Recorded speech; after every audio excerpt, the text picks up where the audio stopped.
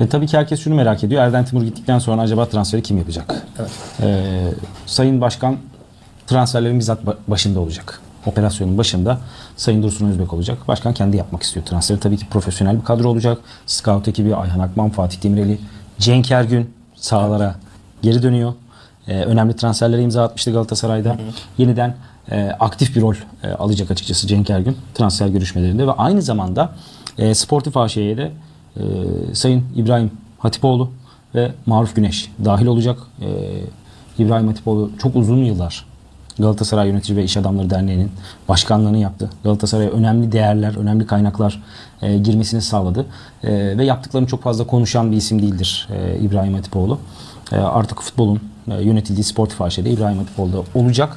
Ama direkt Erden Timur'un e, rolünü verir mi Sayın Başkan ya da Hatipoğlu bunu kabul eder mi?